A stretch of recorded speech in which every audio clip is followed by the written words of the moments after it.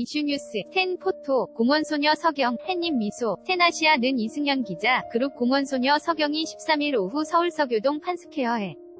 서 두 번째 미니앨범 밤의 공원 파트 2, THE PARK IN THE NIGHT part 2 발매 기념 쇼케이스를 열었다. 공원소녀 서경 공원소녀 서령 서경 미아 레나 앤 민주 소소 타이틀곡 Pinky Star RUN 핑키와 꿈을 뜻하는 스타를 합친 핑키 스타는 언제 어디서든 꿈을 향해 힘차게 달려가겠다는 꿈과 약속이 담긴 곡이다. 이승현 기자 lsh87골뱅이 tnasa.co.kr 테나시아 무단전제 재배포 금지 다른 포토 더보기 별표 텐